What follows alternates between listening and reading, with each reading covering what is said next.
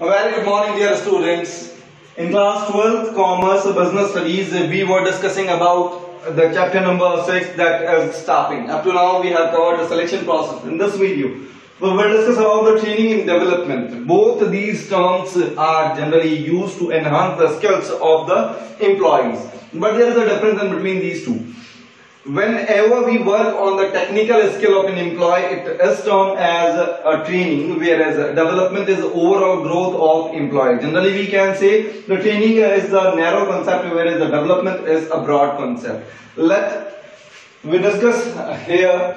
Training means equipping the employees with the required skills to perform the job to perform a particular job whenever we found that we need to give a technical a training or technical a module to the employee so that he can easily handle the job it is known as a training किसी एक employ को कोई एक काम करने के लिए किसी एक पर्टिकुलर जॉब को करने के लिए जो रिक्वायर्ड मॉड्यूल uh, दिया जाता है जो रिक्वायर्ड स्किल्स दी जाती हैं उसे जनरली ट्रेनिंग का नाम दिया जाता है इसके दो मेथड्स अपन आगे पढ़ेंगे, अपने अगले वीडियोस में पढ़ेंगे on the job training and off the job training development क्या होता है? It refers to overall growth of the employees whether it is term of the upgradation of employees level यानी कि एम्प्लॉय के प्रमोशन के बारे में बात करें, उसके स्किल्स के बारे में बात करें, उसकी सैलरीज के बारे में बात करें, उसके करियर एस्पेक्ट के बारे में बात करें तो सारी चीज़ों में अगर उसमें ग्रोथ देखी जाती है,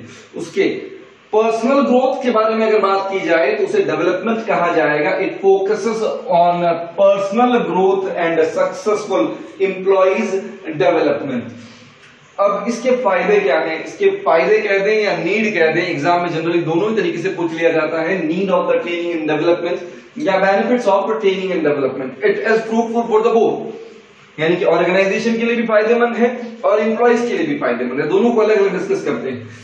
पहले टू द ऑर्गेनाइजेशन। सबसे पहला पॉइंट आता है systematic learning it is always better than the hit and trial method यानी कि काम करके देखना। उसके बाद अगर वो सही हो गया तो ओके अदरवाइज़ रीटेक करना। यानी कि हिट एंड ट्रायल मेथड कर कर, करके चेक करना। तो ऐसा नहीं होता। यहाँ पर अपने को क्या करना है? एम्प्लॉय को प्रॉपर वे बताना है कि how to perform the job तो जो how to perform the job होगा, इसका फ़ायदा क्या होगा? इसमें वेस्टेजेस कम से कम होंगे। चाहे वो टाइम कोस्ट चाहे वो टाइम के रेफरेंस में देखा जाए या फिर कोस्ट के रेफरेंस में देखा जाए तो दोनों ही चीज़ों में आपके पास में बचत होगी। अगला पॉइंट आता है एनहांसेस एम्प्लॉयज़ प्रोडक्टिविटी अब एक एम्प्लॉय जिसे आपने ट्रेनिंग दे रखी है, जो वेल एजुकेटेड है। एजुकेटेड का मतलब यहाँ पर which belongs to the job particularly किसी जॉब के रेफरेंस में बात कर रहा हूँ किसी एक बंदे को मान लेते हैं अकाउंट से एग्ज़ाम्पल ले लेते हैं अकाउंट हैंडलिंग का एग्जांपल ले लेते हैं कॉमर्स से ग्रेजुएट बंदा है, उसे आपने ट्रेनिंग दी है ईआरपी e पर काम करने की सॉफ्टवेयर पर काम करने की, बंदा वो काम करता है। और एक आर्ट्स ग्रेजुएट बंदा है जिसे आपने ट्रेनिंग नहीं दी है काम करने की। अब दोनों अगर काम करेंगे, दोनों में परफॉर्मेंस में फ़र्क होगा, चाहे वो क्वांटिटी के रेफरेंस में हो, चाहे क्वालिटी के रेफरेंस में हो। तो by providing training we work on the quality and quantity both and it will ultimately give profits to the organization. अगला आता है equips the future managers.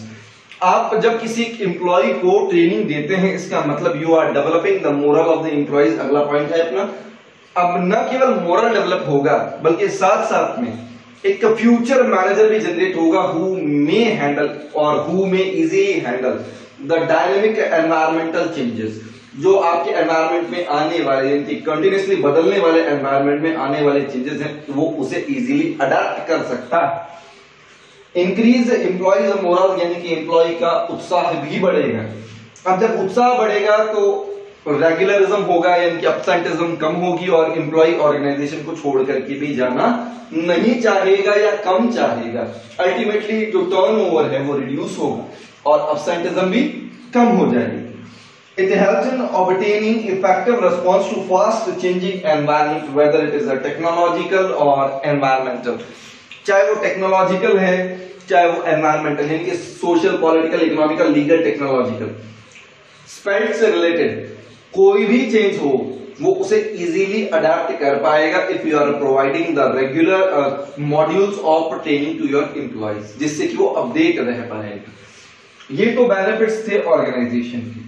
अब अगर बात करते हैं एम्प्लॉयज़ की बेनिफिट के तो एक ट्रेंड एम्प्लॉय के पास में कैरियर अपॉर्चुनिटीज़ के वास्ट ऑप्शन होंगे, ज़्यादा ऑप्शन होंगे। He may look forward for his growth वो अपनी ग्रोथ के लिए आगे देख सकता है because his skills are continuously increasing he may easily handle the more challenges वो ज़्यादा चैलेंजेस को इजीली हैंडल कर सकता है।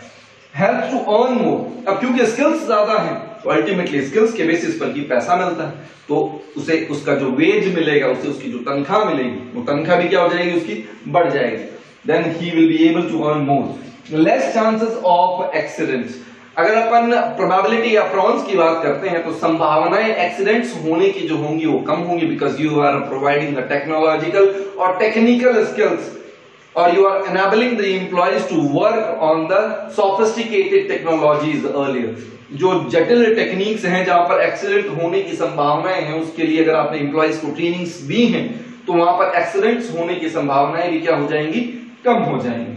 और लास्ट आता है increase the satisfaction and moral of the employees ultimately एक इंसान जब जॉब करता है तो जॉब केवल पैसा अर्न करने के लिए नहीं किया जाता। पैसा अर्न होता तो मोटिव वही है, पैसा अर्न करना, लेकिन पैसे के साथ साथ में satisfaction is the key component until और unless the employee is not satisfied he will not retain और he will not be continue with the organisation और वो कोई और जॉब ढूंढेगा। तो जब एम्प्लॉय सेटिस्फाई होगा मोरल उसका डेवलप होगा तो वो ऑर्गेनाइजेशन से जुड़ा रहेगा तो वो तो ऑर्गेनाइजेशन का बेनिफिट और वो खुद सेटिस्फाई है, और सेटिस्फाई रह करके एक जगह पर काम करता है, वो उसके लिए भी बेनिफिट होगा। ठीक है? तो इस वीडियो में अपन ने बेनिफिट्स के बारे में और ट्रेनिंग और डेवलपमेंट दोनों में क्या डिफरेंस होता है, इसके बारे में पढ़ा। इसके आगे का टॉपिक अपन कवर करेंगे अपने नेक्स्ट वीडियो में। Thank you have a good day